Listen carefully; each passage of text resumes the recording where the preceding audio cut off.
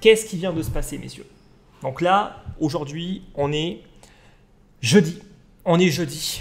Jeudi 12 mars. Et je dois vous avouer avoir vécu une journée comme j'en ai rarement vécu dans les crypto-monnaies. Donc aujourd'hui, dans cette vidéo, c'est pas la vidéo du dimanche parce que là, c'est clairement un jour aujourd'hui qui va rester, à mon avis, quand même gravé dans pas mal de mémoire. On a vécu, à mon sens, euh, une panique historique dans les crypto-monnaies. Et quand je dis bien historique, ça veut dire que moi, qui ai commencé à investir en 2014, euh, j'ai pas vécu de journée aussi intense. Alors, en termes de baisse, on a déjà eu des baisses comme ça, notamment en décembre 2017 et en janvier 2018. Sauf que le contexte était clairement différent. On était sur un plus haut, sur un début de crack. C'était, on va dire, plutôt cohérent d'avoir une baisse comme ça. Là, pour le coup, on n'était pas sur un plus haut, loin de là. On était en fait même sur une zone qui avait beaucoup plus de chances de repartir vers le haut que vers le bas. Et, pour, et pourtant, en fait, ce n'est pas du tout ce qui s'est passé. Et on a vraiment assisté à l'une des plus grosses paniques, à mon sens, qu'on a, qu'on a pu avoir sur le marché des crypto-monnaies. Donc je vais un petit peu en fait vous expliquer pourquoi est-ce que pour moi c'est une panique historique, quels sont les éléments importants. Je vais également faire une petite parenthèse par rapport à la vidéo de dimanche. Alors, il y a eu pas mal de personnes qui se sont un petit peu amusées euh, à, euh, voilà, on va dire me taquiner un petit peu. Euh, voilà, la vidéo elle est périmée, tu dis n'importe quoi, blablabla, blablabla. Alors, on va remettre un petit peu les choses quand même dans leur contexte. quand j'ai fait la vidéo en fait dimanche, on était clairement sur une zone de rebond et on n'avait absolument aucun signe d'un retournement de tendance. Donc d'un point de vue statistique, parce que c'est comme ça que ça marche en fait l'investissement, on avait plus de chances de repartir vers le haut que de faire une chute comme celle-là. Voilà. Donc déjà, ça, il faut bien le comprendre. Maintenant, ce qu'il faut aussi comprendre, c'est une chose. Qu'est-ce que je vous ai dit exactement dans la vidéo? Parce que c'est important en fait de bien regarder ce que je dis en fait et de pas juste prendre ce qu'on a envie en fait de prendre. J'ai dit, on a fait un rebond au niveau des 8500 dollars. Pour confirmer le rebond, très important, il faut faire un nouveau plus haut. Ça veut dire repartir sur les 10 500. Maintenant, la question aujourd'hui euh, que je pose à la plupart des gens, c'est est-ce qu'on a fait ce rebond? Est-ce qu'on est allé au-dessus des 10 500 pour confirmer qu'on avait bien fait un rebond sur, euh, sur le Bitcoin? Ben, J'ai envie de vous dire, pas du tout. Absolument pas. Donc tous ceux qui m'ont dit en fait, Alex, tu fais acheter les gens, non. Les gens qui n'écoutent pas, effectivement, ils achètent. Ceux qui écoutent ce que je dis, ils n'auraient pas acheté en fait. Parce que j'ai dit explicitement qu'on aurait un nouveau signal d'achat si on faisait un nouveau plus haut au niveau des 10 500 dollars. Donc ceux qui veulent s'amuser à essayer en fait de me décrédibiliser, faites-le. Honnêtement, je m'en fous parce que j'ai rien à prouver. Mais écoutez quand même ce qui est dit et ne tirez pas en fait uniquement des conclusions par rapport à ce que vous avez envie d'entendre. Maintenant, ce qui s'est passé, ne venez pas me dire c'était prévisible. Honnêtement, bullshit. On arrête les conneries en fait à un moment. Ce qui s'est passé, ça s'est jamais produit de cette manière. Donc ne me dites pas en fait qu'un événement comme ça, c'est un événement qui est prédictible. Oui, il y a des mecs qui nous disent depuis des maintenant des mois, des années limite que le Bitcoin, il ira plus bas. Certes, mais ces personnes-là, ils n'ont pas raison. Ils n'ont pas raison en fait. Pourquoi? Parce qu'il n'y a aucun élément ni fondamental ni technique qui leur donne raison. Donc après, n'importe qui peut dire ce qu'il veut. Et il peut avoir raison à un moment ou à un autre. Mais entre dire et faire, il y a aussi une différence. Maintenant, moi, une question que je pose, c'est tous ceux qui nous disent j'attends que le Bitcoin soit à 3000 dollars. Mais moi, je vous dis, mais pourquoi vous n'êtes pas là en train de shorter le Bitcoin? Pourquoi est-ce qu'au lieu en fait de parler et de dire des choses que vous ne ferez peut-être jamais, pourquoi est-ce que vous n'agissez pas? Moi, j'aimerais en fait savoir quelle personne a eu l'audace de shorter le marché avant qu'on ait eu les premiers signaux de baisse, juste parce que vous avez la conviction absolue que le Bitcoin ira à 3000 dollars. Donc arrivé un moment, en fait, il faut arrêter les conneries. On investit quand on a en fait les chances de son côté. 3000 dollars, je le répète, si on y va, on n'achète pas du Bitcoin sur des niveaux comme ça. Parce que ça veut clairement dire que la tendance de fond haussière sur le Bitcoin sera lourdement impactée. Et acheter quelque chose qui vient de changer de tendance, honnêtement, moi, ce n'est pas mon délire. Parce que si ça va à 3000 dollars, ça veut dire que ça peut aller à 2000, ça peut aller à 1000. et ensuite, il n'y a plus aucune limite en termes de baisse. Ce qu'il faut comprendre, c'est qu'on n'achète pas forcément tout ce qui baisse. On l'achète parce qu'on est sur un niveau où le prix peut repartir. Si on l'achète sur un niveau où le prix est beaucoup trop bas et où on a cassé en fait des trop gros supports, vous allez acheter un truc qui va encore tomber. Donc maintenant, si vous voulez acheter à 3000 dollars, faites-le. Honnêtement, faites-le. Moi, je sais ce que j'aurai à faire en tout cas si le prix commence à encore baisser. Donc là, actuellement, je vais mettre rapidement le, graphique du Bitcoin. On est sur une baisse record. 30% de baisse en une journée, on peut le dire, c'est pas arrivé souvent. En fait, c'est arrivé quasiment à quatre reprises. Donc on a eu en fait des baisses. Donc la plus importante, c'était en 2013. J'étais pas encore sur les marchés. On a eu une baisse de 36% le 18 décembre 2013. D'accord? 36%. C'est quand même pas rien. Hein. Et ensuite, on a eu quoi? On a eu une, bête, une baisse, donc le 18 août 2015. Là, pour le coup, j'étais présent, euh, de 23%. Ce n'est pas forcément les plus grosses baisses. Et ensuite, on a eu deux baisses consécutives de 30% durant justement le crack de 2017, le 18, euh, non pardon, le 22 décembre 2017 et ensuite le 16 janvier 2018, 30% à chaque fois. 30% en prenant en compte bien évidemment les mèches. Et aujourd'hui, pour l'instant, quand je tourne la vidéo, il est à peu près, euh, il est à peu près 17 euh, heures à Maurice, donc on enlève 3 heures. Pour la France, il est 2 heures. On a pour l'instant une mèche, euh, une bougie, pardon, de 30%. Est-ce que ça peut encore baisser? Peut-être. Peut-être. Honnêtement, je ne suis pas Nostradamus. Et aussi un petit rappel que j'aimerais faire. Quand on fait une vidéo long terme, il y a le mot long terme. Donc ça veut dire que quand je fais une vidéo en vous disant le Bitcoin, il est haussier sur le long terme, si demain il baisse, ça ne veut pas dire en fait que le Bitcoin n'est pas haussier sur le long terme.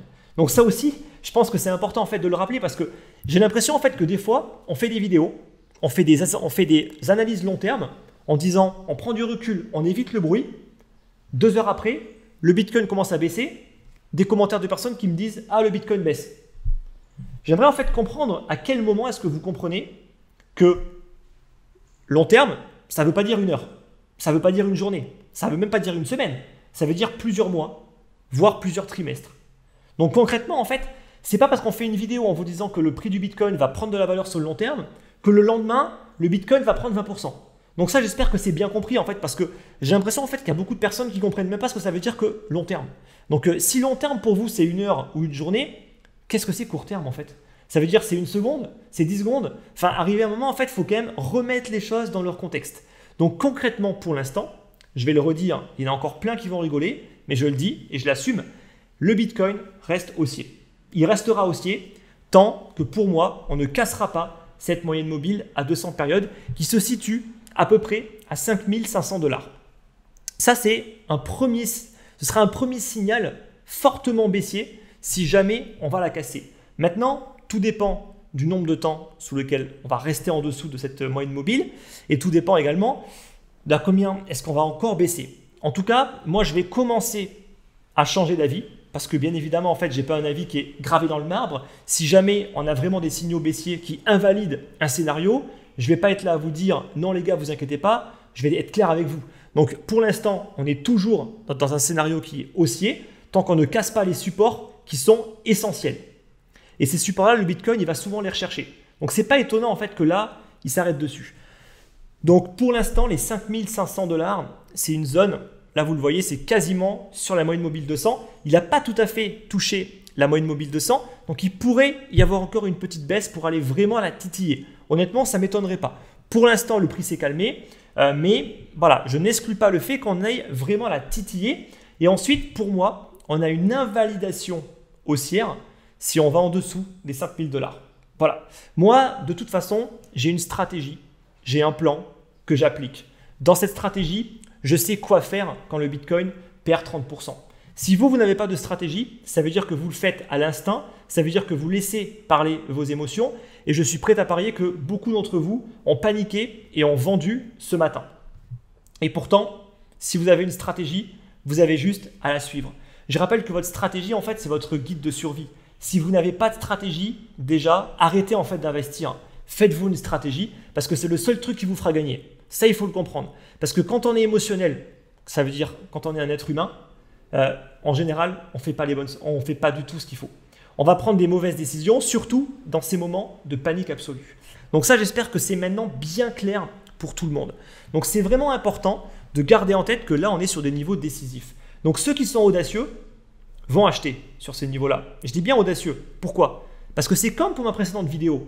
On est sur un point où on peut se retourner, mais on n'a pas encore les signes de retournement. Donc ça veut dire que ceux qui veulent prendre le risque d'acheter prennent également le risque qu'on ne rebondisse pas et qu'on recasse ce support. Voilà, comme la vidéo de dimanche que beaucoup malheureusement n'ont pas compris. Après, je pense quand même que la majorité l'ont compris, heureusement j'ai envie de dire, mais il y a toujours en fait cette petite minorité, on ne sait pas d'où elle sort, qui ne comprennent rien à ce qu'on dit et qui sont là à systématiquement nous envoyer carrément nous envoyer en fait des emails, nous envoyer en fait des commentaires, etc. etc.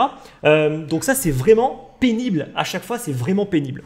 Donc voilà un petit peu pour le Bitcoin. Il n'y a pas forcément de quoi paniquer. Je sais que ça peut paraître complètement délirant. On est sur une baisse historique. Maintenant, on n'a pas non plus cassé des niveaux vraiment importants. Donc ça, il faut le garder en tête. Le prix a parfaitement rebondi sur les 5500. Il y avait tellement de volatilité à ce moment-là que honnêtement, pour ceux qui étaient présents, ça devait être compliqué de ne serait-ce que passer en fait des ordres.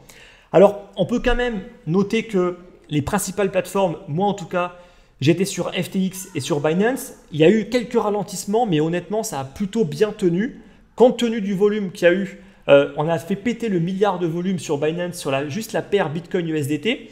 Donc je peux vous dire que là, Binance, à mon avis, ils ont quand même mis le paquet pour que ça tienne. Hein. Donc en tout cas, chapeau pour ça. Ce n'est pas le cas de toutes les plateformes, euh, parce que j'ai eu quelques retours d'autres plateformes, comme par exemple Kraken, qui pour le coup étaient complètement à la ramasse. Voilà. Donc, si je dis que c'était une panique historique, c'est pas que parce que le Bitcoin a perdu 30%, c'est parce qu'on a eu des signes de comportement que je n'avais jamais vus jusqu'à présent. Alors, ces signes, c'est quoi? Ce sont tout simplement des ventes paniques de gros porte-monnaies qui se mettent à manger absolument tout le carnet. Donc ça veut dire que tous les ordres à l'achat se font manger et le prix retombe à zéro. Ouais, c'est possible. C'est possible en fait. Donc ça arrive régulièrement sur les shitcoins. Donc ça veut dire les petites crypto-monnaies qui font rêver les gens parce que ça peut faire un fois mais ça ne les fera jamais. Euh, ça fait aussi en fait rêver beaucoup de personnes parce qu'on peut se faire des rendements de malade, mais en général, ces crypto-monnaies-là ne prennent pas souvent de valeur, par contre, elles se font souvent démonter. Donc celles-là, en fait, il y a souvent peu de liquidités, elles sont peu valorisées, donc il ne faut pas un gros porte-monnaie en fait pour manger tout le carnet d'ordre. Et très souvent en plus, elles ne sont pas listées sur les principales plateformes, donc il y a tellement peu de liquidités qu'elles sont hyper manipulables. Bref, ce qu'il faut vraiment éviter. Là, en tout cas, ce qu'on a eu, ce sont des comportements de vente qui ont mangé des carnets d'ordre sur des crypto-monnaies extrêmement liquides. Et ça, c'est vraiment rare. Et moi, en tout cas, de mémoire, sur la plateforme Binance, il me semble que ça n'est jamais arrivé si je ne dis pas de conneries. Donc, il y a eu deux cryptos. Une, ok, c'est pas forcément la crypto la plus liquide, mais quand bien même, c'était assez, on va dire, violent. Et une autre qui fait partie des cryptos les plus liquides, qui a eu son carnet complètement vidé. Donc là, ça veut vraiment dire qu'il y a eu une très très forte panique de gros porte-monnaie, parce que pour vendre et pour vider un carnet d'ordre, c'est simple, il faut faire une vente au marché. On fait une vente au marché très très lourde avec un très très gros portefeuille et ça, c'est de la panique. C'est que de la panique et c'est quand même assez rare parce qu'en général, si on a un gros porte-monnaie, ça veut quand même dire qu'on sait à peu près investir. Mais pour le coup, vous voyez que des fois, ce n'est pas forcément le cas. Donc là, en fait, la première, c'est iExec, un projet français que vous connaissez peut-être qui a des super fondamentaux, mais qui a été complètement vidé sur Binance, donc sur la paire RLC USDT. Là, sur le graphique, vous le voyez, c'est flagrant, on a une mèche qui va chercher les zéros. Donc, en réalité, c'est 0,0001 parce que bien évidemment, ça ne peut pas tomber à zéro.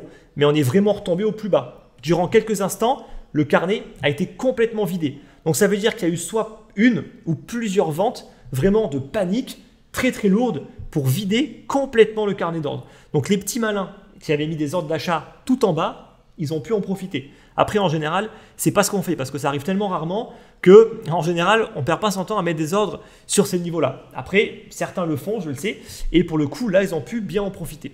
La deuxième, elle est plus inquiétante. C'est Chainlink. Chainlink, vous regardez en fait la paire Link USDT sur Binance, pareil, le carnet complètement vidé. Mais là, c'est inquiétant. C'est inquiétant pourquoi? Parce qu'encore, iExec, honnêtement, ils ont un volume au bas mot de 1 million de dollars sur Binance en règle générale. Donc c'est pas forcément un volume qui est énorme. Par contre, Chainlink, on n'est pas sur un million de dollars. On est plus sur 10, voire 100 millions de dollars de volume uniquement sur Binance et sur cette paire d'échanges-là. Donc ça veut dire quoi? Ça veut dire que là, on a vraiment eu une vente de très très gros portefeuilles qui ont vraiment paniqué et qui ont tout vendu. Donc ça pourrait être l'équipe, peut-être. Donc je ne suis pas là en fait pour accuser qui que ce soit, hein, c'est juste des spéculations. Ça peut être l'équipe qui panique, ça peut être des gros investisseurs qui paniquent, mais en tout cas, c'est vraiment significatif ce type de graphique de panique vraiment extrême où même les gros porte-monnaies vendent sans se soucier en fait de à quel prix est-ce qu'ils vont le vendre. Et ça pour le coup, c'est vraiment significatif. Ensuite, on a eu des comportements assez étranges également avec certaines crypto-monnaies qui pour le coup n'ont pas bougé. Et ça c'est assez incroyable. Quand on a un Bitcoin qui perd 30%, en général les altcoins, elles en perdent autant, si ce n'est plus. Mais là pour le coup, on a eu des crypto-monnaies de plateformes d'échange qui n'ont pas bougé. Comme par exemple le Léo de Bitfinex. Si on prend là le graphique du Léo, ben, on ne voit pas de baisse. Alors oui, il y a une petite baisse, je suis d'accord avec vous, mais elle est minime par rapport à la baisse qu'on a pu avoir sur le Bitcoin. Quand le Bitcoin perd 30%, là vous le verrez, quasiment toutes les autres crypto-monnaies ont perdu au moins 30%. Sauf le Léo, qui même durant un moment était même dans le vert durant la panique. Donc ça c'est assez significatif. Je vous avoue ne pas vraiment comprendre le comportement, parce qu'on est quand même sur une crypto-monnaie qui est très valorisée, qui n'est pas extrêmement liquide, mais quand même il y a un peu de liquidité. Donc c'est assez étonnant d'avoir un comportement comme ça. Honnêtement, je ne sais pas encore comment l'expliquer, là c'est un petit peu à chaud, mais je tenais à vous le partager en fait parce que peut-être que vous, vous avez une réponse à ça. Alors certains m'ont dit, c'est parce que tout le monde la prend pour une stablecoin. Eh, honnêtement les gars, moi je veux bien, mais arrivé à un moment, euh, je pense que Léo, c'était pas la seule crypto qui était à 1 dollar. La prendre pour un stablecoin, je trouve ça tellement gros que ça me paraît quand même, moi je pense que c'est pas la seule explication. Voilà. Après, Honnêtement, j'ai pas l'explication. J'ai aucune idée. Mais je tenais quand même à vous le partager parce que ça me paraissait quand même être surprenant. Surprenant vraiment. Et c'est pas la seule. Il y a aussi le FTT. Donc, elle a un petit peu baissé. Hein. mais honnêtement, elle n'a pas beaucoup baissé par rapport à l'ensemble du marché. Donc, pourquoi Une nouvelle fois, je ne sais pas. Peut-être qu'on aura plus d'informations dans quelques jours, parce que là, on est quand même à chaud. Ça s'est passé il y a à peine quelques heures. Mais concrètement, c'est assez étonnant. Moi, vraiment, je trouve ça assez étonnant. Voilà. Donc maintenant, ce qu'il faut aussi retenir, c'est quoi? Ceux qui ont pris du levier. Je rappelle que si on prend un levier x3, on se fait liquider si on a une baisse de 33%. Qu'est-ce qui a dû se passer? Qu'est-ce qui a dû se passer d'après vous? Eh bien, à mon avis, tous ceux qui se sont amusés à prendre des tokens à effet de levier, par exemple, euh, tous ceux qui se sont amusés à prendre du margin, alors encore le levier x3, j'ai envie de vous dire, ça va, c'est pas le pire. Mais ceux qui ont pris du x5, du x10 à l'achat, ils se sont fait massacrer. Là, sur BitMEX, sur BitMEX, depuis ce matin, il y a eu déjà plus de 700 millions de dollars de liquidation. Et la journée n'est pas terminée. Donc je peux vous assurer qu'il y a dû avoir des gens qui ont un petit peu trop joué avec le levier et qui là vont le regretter. Alors après, c'est toujours pareil. Ça marche dans les deux sens. Ceux qui étaient en position vendeuse, chapeau. En l'occurrence, ce matin, je sais qu'il y a eu beaucoup de traders que je connais qui ont justement profité de moments comme ça pour faire honnêtement euh, des chiffres à tomber par terre en termes de performance. Parce que quand tu as autant de volatilité, forcément, maintenant, maintenant qu'on peut shorter énormément d'alcoin, ben, je peux vous assurer qu'il y en a qui se sont bien gavés ce matin. Euh, également, ben, moi ce matin c'était vraiment sur le feu, hein, parce que maintenant je pense que vous le savez, donc j'ai un fonds d'investissement avec pas mal de stratégies qui tournent, et ben il a fallu en fait gérer tout ça, et on l'a plutôt bien géré avec mon associé, euh, parce que justement on est resté en positif, voire même on a réussi à prendre du gain, notamment parce qu'on s'est edgé. Voilà, bon, j'en parle pas trop parce que c'est assez compliqué, mais en tout cas, on était quand même, on va dire que on l'avait vu venir, mais on n'y croyait pas. Donc, qu'est-ce qu'on fait en fait dans ces cas-là? On peut se hedger. Donc, c'est un petit peu complexe. Ça veut dire quoi? Ça veut dire que on a pris des positions à l'achat, mais on n'est vraiment pas sûr en fait du dénouement. Donc, qu'est-ce qu'on fait? On prend aussi des positions qui sont vendeuses. Comme ça, en fait, si jamais il y a une explosion vers le bas, les positions qui étaient à l'achat se font stopper, parce que bien sûr, il faut des stops. Par contre, les positions short, elles, continuent et après, c'est nous qui les coupons et on a pu donc générer au final des performances euh, malgré la baisse. Bien sûr, tout ça, c'est très stressant. Ça demande quand même pas mal d'expérience parce que vu ce qui s'est passé ce matin, être sur les graphes, c'est vraiment très très dur, je vous le dis. Euh, donc il faut quand même beaucoup d'expérience. Et c'est pour ça que la meilleure des choses à faire, c'est de se déconnecter. Honnêtement, vous fermez tout, vous vous barrez. Alors je sais, aujourd'hui, le problème, il est où? On est en fait dans un contexte de marché qui ne touche pas que les crypto-monnaies. Et c'est pour ça, à mon sens, qu'on a eu une baisse aussi importante. Donc ça, on en parlera dans une autre vidéo. Mais on est vraiment aujourd'hui en fait dans un contexte qui est unique. Unique, pourquoi? Parce qu'on a enfin la réponse. Le Bitcoin n'est pas une réserve de valeur. Voilà. Ça risque en fait de ne pas faire plaisir à beaucoup de personnes, même à moi. Ça me fait vraiment, vraiment, on va dire, ça m'embête pour rester poli particulièrement. Mais comme je vous l'avais dit en fait à plusieurs reprises, le Bitcoin, c'est un actif spéculatif. Donc la raison voudrait qu'il soit vendu. C'est ce qui s'est passé. Il a été vendu massivement. Donc, j'ai envie de dire, c'est logique ce qui s'est passé. Maintenant, je sais que beaucoup de personnes tentaient à croire, étaient vraiment tentées en fait de croire que le Bitcoin c'était comme de l'or. Et ça, pour le coup, moi, je l'ai jamais dit. J'ai même fait des vidéos par rapport à ça pour dire que le Bitcoin, ce n'est pas de l'or. Et il ne faut pas tout confondre.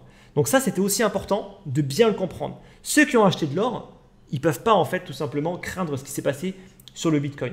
Donc ne pas confondre. Maintenant, on a une réponse. Le Bitcoin, ce n'est pas un refuge de valeur durant des moments de crise et de panique. Donc là, on a eu une panique sur le marché des crypto-monnaies, mais cette panique a été amplifiée par une panique généralisée sur les marchés financiers. À l'ouverture ce matin sur le CAC 40, une nouvelle fois, un gap baissier de 5%. Je veux dire, ces événements-là aussi pèsent énormément sur le moral. Vous avez tous les médias qui vous disent crack boursier, parce que là aujourd'hui, je ferai une vidéo par rapport à ça. Nous sommes dans un crack. Maintenant, c'est avéré. Euh, une baisse de 30% sur le CAC 40 avec dividendes réinvestis, euh, c'est un crack. Voilà. Donc là, maintenant, on est à 30, on peut aller à 40, on peut aller à 50. Honnêtement, on est vraiment au début d'une crise. Ça, il faut le garder en tête. Donc les actifs spéculatifs, faut quand même être très prudent. Même si là, on peut avoir une opportunité à l'achat, gardez en tête que d'un point de vue, on va dire, mondial, euh, les actifs spéculatifs, ce n'est pas ce qui va être vraiment acheté. Donc c'est pour ça que je reste très prudent par rapport aux événements qui pourraient se passer. Et on pourrait, bien évidemment, casser le niveau des 5000 dollars qui invaliderait pour moi une tendance qui reste pour l'instant haussière. Donc ça, il faut toujours le garder en tête. Il faut comprendre que quand on investit, on a un plan pour chaque étape. Quand le Bitcoin baisse, on sait ce qu'il faut faire. Si vous, paniquez, je le répète, mais c'est important, ça veut dire que vous n'avez pas de plan et vous ne savez pas ce qu'il faut faire. Maintenant, on est vraiment en fait dans un contexte de panique. On a le marché financier qui s'écroule. On a le coronavirus qui commence à justement se développer en Europe. On a l'Italie qui est en quarantaine. On a les entreprises qui viennent d'être fermées. Il y a uniquement les entreprises depuis ce matin euh, de l'agroalimentaire qui peuvent rester ouvertes pour justement continuer à, euh, à vendre des biens alimentaires aux habitants. Euh, ça pourrait arriver en France. Ça pourrait arriver en France. Il y, a, encore des mesures qui vont être annoncées. On n'est qu'au début en fait de l'épidémie en France, malgré qu'en Chine l'épidémie soit à présent contrôlée et que le gouvernement a envie en fait de faire redémarrer la machine, qu'on se le cache pas. Là, on part sur une année 2020 qui va être une année extrêmement mauvaise pour la plupart des investisseurs. C'est normal, il y a des années qui sont noires. C'est pour ça qu'il faut avoir de la liquidité, qu'il faut être capable d'investir au bon moment. Et ces moments, c'est cette année. Voilà. Cette année, ça va être une année en or pour se positionner. Il n'y a pas de secret en fait. C'est quand plus personne ne veut acheter qu'il faut acheter. Donc je sais, ça peut être effrayant. Vraiment, on a peur pour l'avenir, mais c'est justement pour ça en fait qu'il y a peu de personnes qui prennent le risque d'investir. Par contre, faites attention, ne grillez pas toutes vos cartouches trop vite. Honnêtement, on n'est qu'au début. On n'est qu'au début d'une crise pour moi. La crise va durer plusieurs mois encore. Elle peut encore durer 3, 4, 5, 6 mois, honnêtement. Et on verra en plus dans quel état on va retrouver l'économie une fois l'épidémie passée.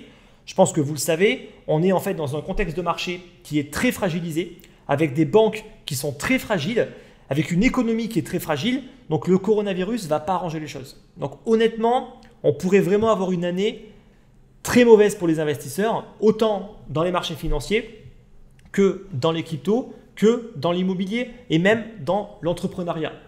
Ne croyez pas en fait que l'immobilier par exemple va être épargné. L'immobilier va en prendre un coup. Bien sûr, c'est pas tout de suite, mais on verra en fait dans quelques mois comment ça va se passer pour l'immobilier. Donc faites aussi attention. C'est aussi pour ça qu'on ne qu'on n'investit pas tout sur un seul investissement. Ceux qui misent tout par exemple sur, sur les crypto-monnaies, ceux qui misent tout, sur les marchés financiers. Ceux qui misent tout sur l'immobilier, je peux vous assurer qu'aujourd'hui, ils sont comme ça. Ils sont comme ça en fait parce que quand vous avez qu'un seul investissement, il y en aura un qui va plus souffrir que l'autre. Ça peut être les cryptos, comme ça peut être les marchés financiers, comme ça peut être l'immobilier. En tout cas, plus vous serez diversifié, moins vous aurez de chances d'en souffrir et plus vous pourrez en profiter parce que plus vous aurez de liquidité. Donc ça, c'est vraiment important. Je ferai pas mal d'autres vidéos par rapport à ça. On est bien évidemment sur un moment clé pour investir, que ce soit dans les cryptos, tant qu'on arrive à tenir les supports que j'ai pu indiquer, euh, dans les marchés financiers également, parce que ce n'est pas la fin du monde, l'économie va repartir à un moment ou à un autre, dans l'immobilier également.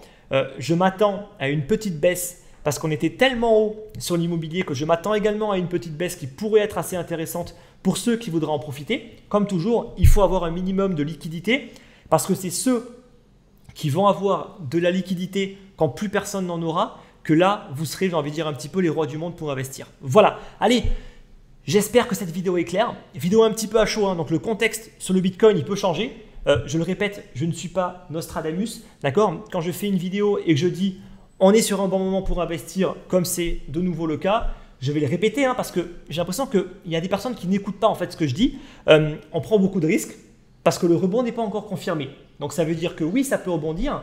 Si on veut acheter un point bas, je vous le dis, hein, il faut acheter sans confirmation. C'est comme ça en fait qu'on achète un point bas. Si on veut acheter le bas du marché, on achète quand on estime que le prix peut rebondir. Mais on prend le risque que ça ne rebondisse pas et qu'au final le rebond soit pas suffisamment puissant et boum, on retombe. Donc là, on reprend le risque une nouvelle fois. Le risque, il peut être pris si on est audacieux, si on veut prendre du risque. Ceux qui ont trop peur, ne faites rien. Honnêtement, pour l'instant, attendez. Attendez une accalmie. Attendez en fait que le marché consolide, se stagne, que la volatilité baisse, et là, vous pourrez y voir plus clair. Bien évidemment que là, on prend beaucoup de risques, mais ceux qui peuvent se permettre de le prendre, honnêtement, voilà, moi je l'ai pris, maintenant vous faites ce que vous voulez. Je ne suis pas votre conseiller financier, je n'incite personne à faire quoi que ce soit, j'explique qu'est-ce que moi, au final, j'aurais fait. Nuance. Donc ne me dites pas, d'accord, que j'incite des gens à faire quoi que ce soit. Moi, j'incite personne, je partage un point de vue. Après, les gens sont suffisamment grands pour prendre des décisions. Ça, j'espère que c'est clair. Voilà, allez, je pense que la vidéo a déjà duré assez longtemps, donc elle est plutôt claire. Euh, si vous n'êtes pas inscrit pour recevoir mes lettres d'investissement, eh bien honnêtement, mieux vaut tard que jamais. J'ai justement partagé pas mal d'infos par rapport à une panique qu'on pourrait avoir sur le marché et qui s'est réalisée justement. Euh, donc j'ai envoyé la lettre lundi, donc ce lundi. Euh, j'enverrai peut-être, si j'ai le temps, c'est pas sûr, mais je vais essayer, une lettre, non pas dans une semaine et demie, mais dès la semaine prochaine. Donc n'hésitez pas, hein, c'est vraiment important. Si vous voulez être vraiment bien tenu au courant, parce qu'une vidéo c'est long à faire, euh, inscrivez-vous à la lettre d'investissement, c'est gratuit. Le lien est juste dans la description. Quant à nous, on se retrouve dimanche pour la vidéo normale du dimanche matin. Je vous dis bonne semaine à tous. Euh, bon investissement, restez accrochés, ne paniquez pas. Je vous dis bonne semaine à tous et à lundi. Merci.